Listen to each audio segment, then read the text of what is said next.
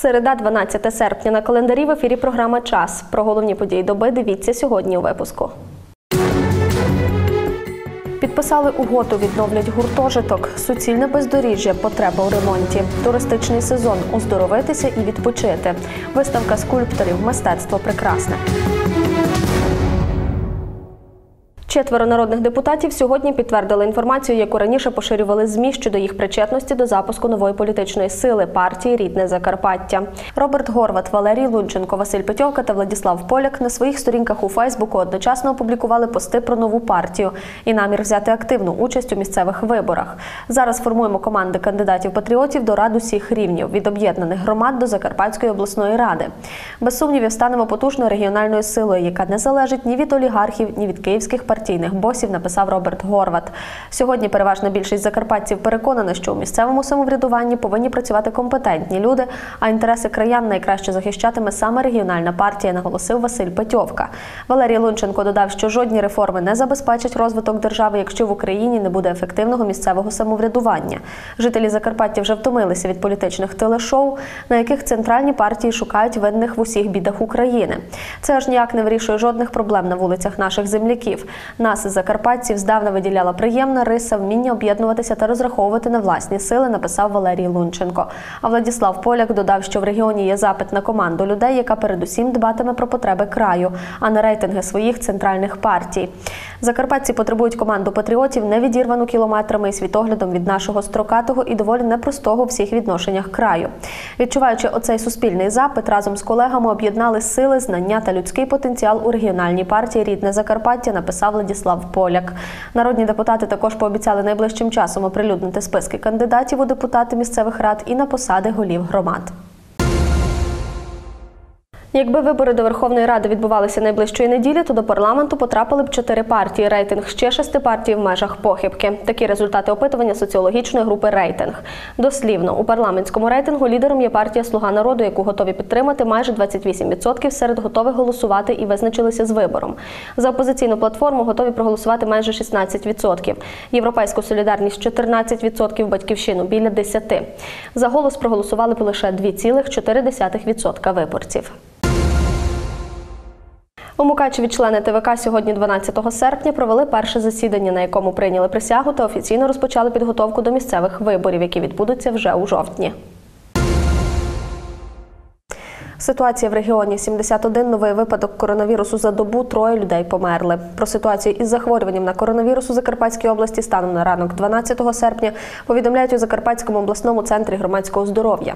Протягом минулої доби 11 серпня за екстреною медичною допомогою звернулося 366 пацієнтів. З них 19 з ознаками гострої пневмонії і 22 з підозрою на COVID-19.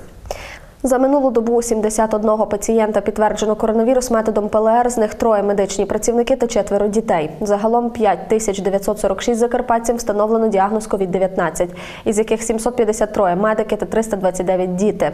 За добу, що минуло, померло троє хворих із діагнозом COVID-19. Загалом з початку пандемії в області померло 226 пацієнтів із діагнозом COVID-19. Ще одна дорога у селі на Тячівщині потребує ремонту. Йдеться про населений пункт Руська Мокра. Тут автошлях відновлювали не повністю, а відрізками за пріоритетністю. Відтак наразі три ділянки в селі суцільне бездоріжжя. Більше інформації знає Ярина Марків. Дорога, що пролягає через село Руська Мокра, що на Тячівщині, є частиною автомобільного шляху загального користування місцевого значення Колочава Ущорна, Калини Бедевля, як і дорога в селищі Ущорна, про яку ми розповідали напередодні. Однак, якщо в останньому населеному пункті відновлення дорожнього полотна вже не здійснювали руками, то в Руській Мокрій його проводили відносно нещодавно за кошти з різних джерел. Є лише одне але не на усіх відрізках. Три е, кусочки, які ми не зробили, тому що десь колись раніше, 4-5 років тому назад, е, були е, різні різне фінансування. Ми пріоритетно, де більше скупчення людей, де знаходилися школа, дитсадок, магазин. Першочергово там ставилися куски дороги згідно проєктів. Фінансування проходило, як я вже говорив, з різних джерел. Це був ДФРР, це був фонд соціального розвитку Василь Васильович Петьовка допомагав нам на верхній частині біля сільської ради. Тож не мов би і є дорога, а начебто й ні. Кількаметровий шлях вмить перетворюється на суцільне бездоріжжя і так три рази поспіль. Всі три ділянки в Руській мокрій, да. От зараз ми знаходимося 650 метрів до моста до сільської ради, е, з недалеко 100 метрів вже починається асфальт. Е, Ділянка дороги, бачите, серед села. Е, Друга ділянка чуть вище, через 800 метрів. Також там є кілометр 100. І третя ділянка, яка з'єднує Руську мокру з СМТ Ущорна. Там є 750 метрів, то вже переміряно, знаємо кожну ямку, але фінансування. Це було е, проведено капітальний ремонт позапрошлому році е, румунську фірму Трамеко. Е, Ці ділянки, ну не, весь частина, центр села біля школи, де ми сьогодні були, біля е, стадіону. Це було проведено в 15-16 роках.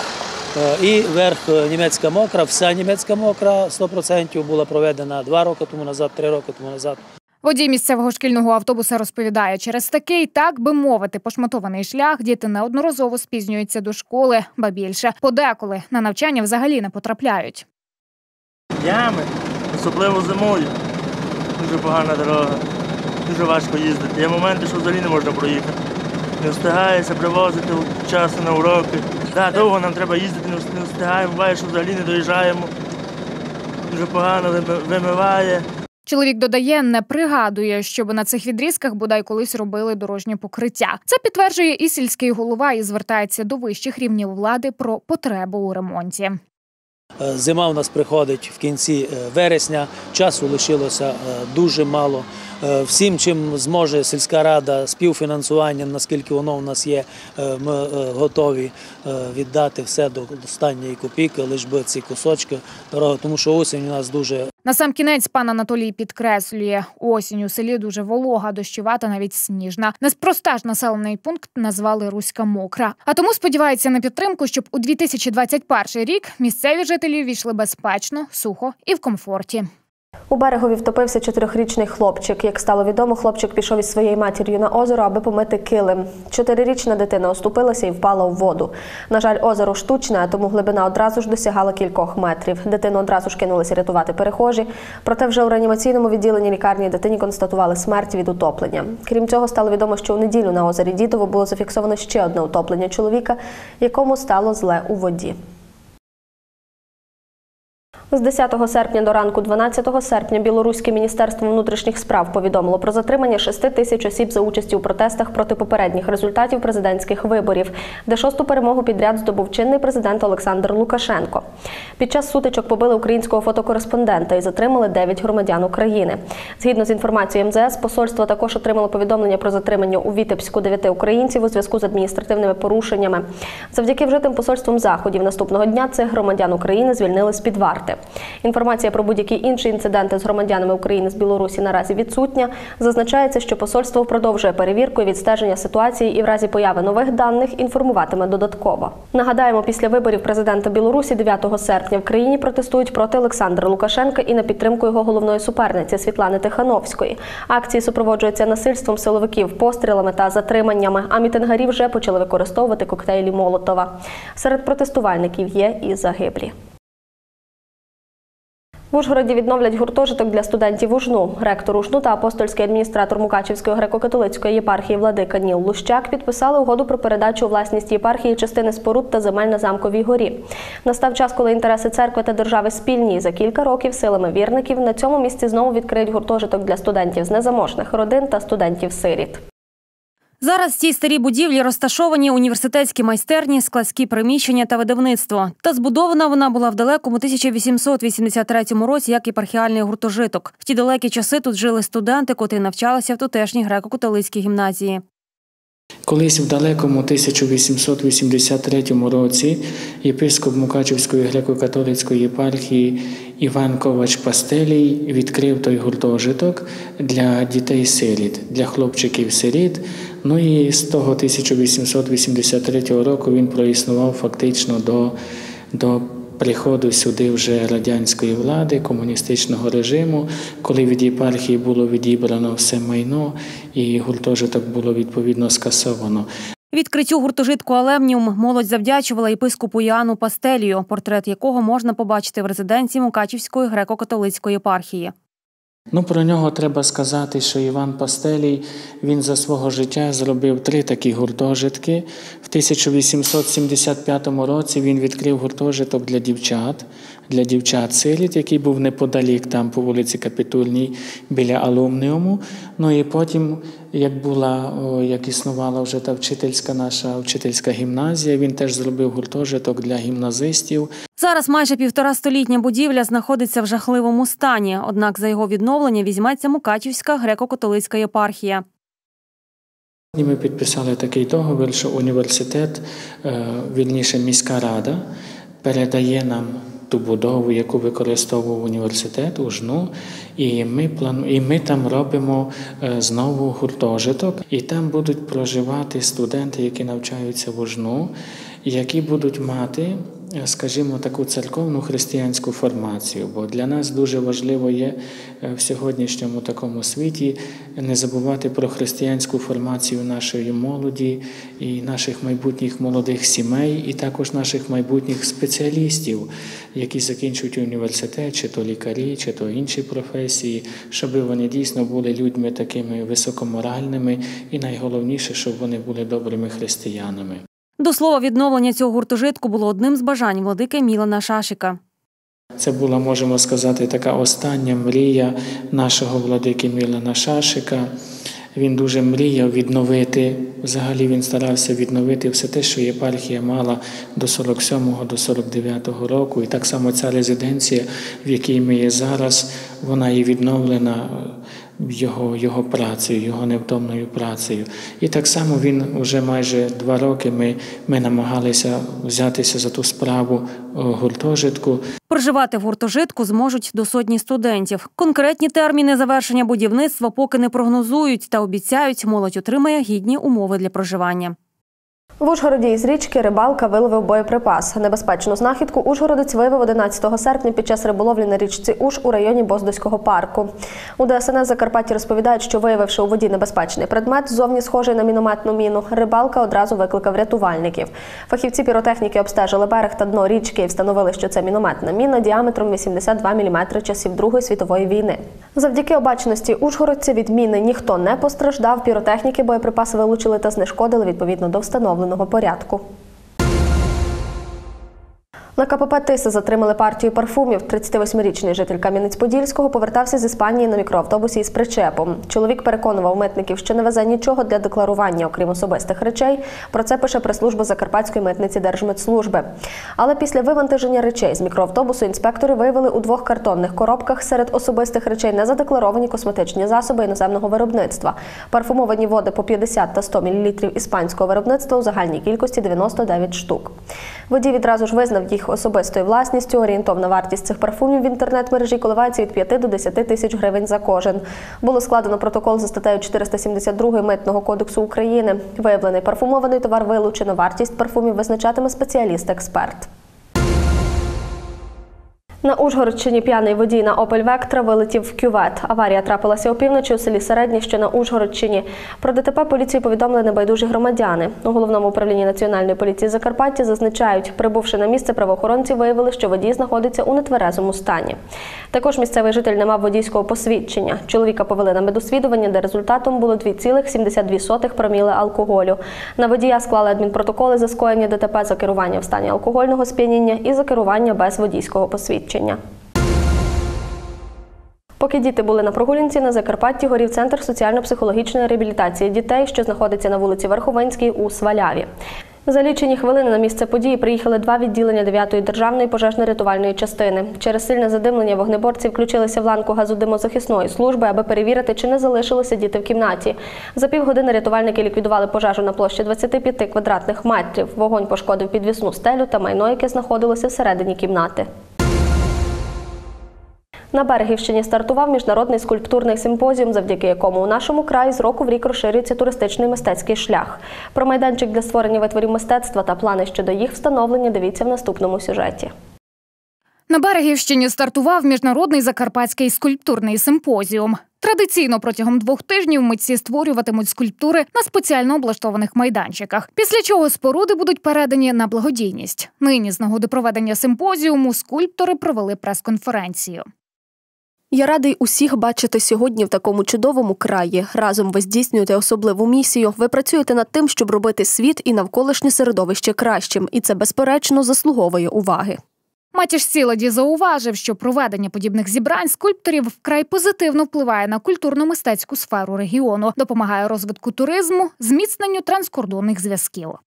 Таким чином, ви не тільки відпрацьовуєте власну майстерність, а й даєте приклад митцям з інших країн, як потрібно організовувати роботу, сприяти розвитку мистецтва та головне співпрацювати на благо рідного краю.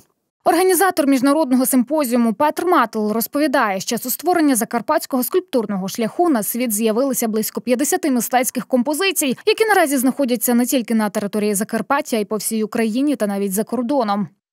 Ми цей захід заоснували ще в 2014 році. І е, декілька років подряд все розширяли. І зараз е, біля, біля 10 е, селищ Берегівського району там встановлені скульптури. І новий туристичний продукт ми придумали велосипедний е, такий шлях від села до села, від скульптури до скульптури. Організатор заходу додає, цього року митці творитимуть на майданчику у селі Януші, що на Берегівщині. Таким чином планують завершити скульптурне коло у цьому районі, яке пізніше об'єднають із Ужгородщиною. Варто додати, цього року участь у симпозіумі взяли тільки українські скульптори. Не- Нереально би було запросити сюди із Індії, чи з Ірану, чи з Бельгії е, скульпторів, а потім вони би попали в карантин. Або тут, або у себе. Так що е, ми запросили закарпатських, в основному митців, одного київлянина, але із цим якість нашого симпозіуму не став гірший. Варто додати, протягом останніх років зусиллями ПРУАР та Мункач було створено 20 невеликих парків зі скульптурами, які розмістили у різних районах Закарпаття. Головна мета організації створення культурних осередків на теренах області, які змогли б залишити за собою культурну спадщину 21-го століття. Вступна кампанія у розпалі. Творчі конкурси проходять в Ужгородському інституті культури і мистецтв Закарпатської обласної ради. Наразі випробування здають випускники 11 класів, аби здобути одну з творчих професій. Напередодні тут провели прийом студентів після 9 класу. На якій спеціальності триває набір у закладі та про особливості цьогорічного вступу детальніше Ірина Ковальчук. Абітурієнти з усіх куточків Закарпаття приїхали до обласного центру, аби показати свої здібності фахівцям і наблизитися на крок до мрійної професії в Ужгородському інституті культури та мистецтв. Повним ходом ідуть творчі конкурси. Усі вступники хвилюються. Хочу бути хореографом, хочу викладати, хочу навчати дітей, хочу прославитися свої, е, своєму са- салоні, хочу далі там відкрити свою студію, хочу навчати. Музика це для мене життя. Я хочу бути актором, тому що актор він і грає, і співає, і танцює. Буду робити все можливе для того, щоб працювати актором.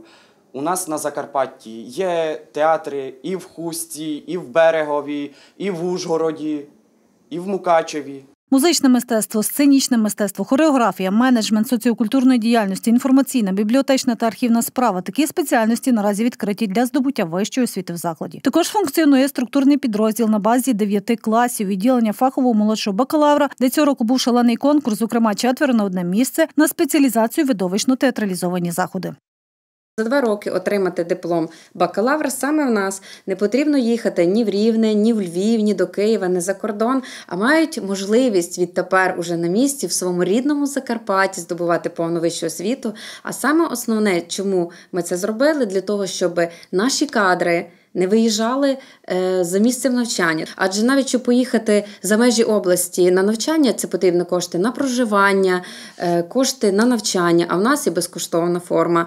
На кожну спеціальність нам замовник, а замовник це Закарпатська обласна рада. Виділили по 10 е, безкоштовних місць на всі спеціальності. До слова, в цьому році вперше на Закарпатті випустили студентів з дипломами за новими спеціальностями сценічне мистецтво, музичне мистецтво та інформаційна, бібліотечна і архівна справа. Всі випускники працевлаштовані в закладах краю. У зв'язку з пандемією коронавірусу чимало вступників не встигли вчасно подати заяви, тому Міністерство освіти і науки продовжило набір на контрактну форму навчання до 22 серпня для дев'ятикласників, а одинадцятикласники можуть зареєструватися в електронному кабінеті до 30 вересня. Перевагу при вступі при рівній кількості балів матимуть абітурієнти сіл. Пройти повний курс оздоровлення та відпочити на 100%. Єдиний на Закарпатті оздоровчий заклад, що має утричі ширший спектр бальнеологічних лікувальних можливостей у порівнянні з іншими оздоровницями, квітка полонини знову відкрила свої двері як для своїх постійних відвідувачів, так і для нових клієнтів. Відпочивальники кажуть, головна принада цієї оздоровниці мінеральні води. Їх тут три різновиди. Також додають процедури та сервіс тут на вищому рівні. Більше про відпочинок у цій закарпатській оздоровниці дивіться далі. Одночасно і ліки, профілактичний природний засіб. Про цілющі властивості закарпатських мінеральних вод відомо вже далеко за межами регіону та навіть України. Саме для того, щоб її попити за тисячу кілометрів, приїхала до оздоровниці квітка полонини пані Тетяна. Водичка корисна і смачна. Приїжджаємо вже не перший рік сюди лікуватися, нам дуже подобається. Для лікування тут використовують три різновиди мінеральної води: Лужанська 4, Лужанська 7 та Поляна Квасова. Ці води є основним лікувальним фактором в оздоровниці. Прямо з родовища вона подається на інші процедурні кабінети, розповідає головний лікар. Якої температури пити воду кожному пацієнту призначають залежно від захворювання. Лужанська номер 7, яка в теплому виді при температурі 38-40 градусів, призначається при підвищеній кислотності шлунку і при виразкових хворобах денистепелої кишки. Вона приймається за 20-30 хвилин до їжі, певну кількість 150-200 мл, і через годину після їди. Також тепла, лужанська номер 7, 38-40 градусів. Та приваблює оздоровниця відпочивальників не лише своїми цілющими водами. Люди кажуть, тут можна пройти великий спектр різноманітних процедур, а ще приємно відпочити.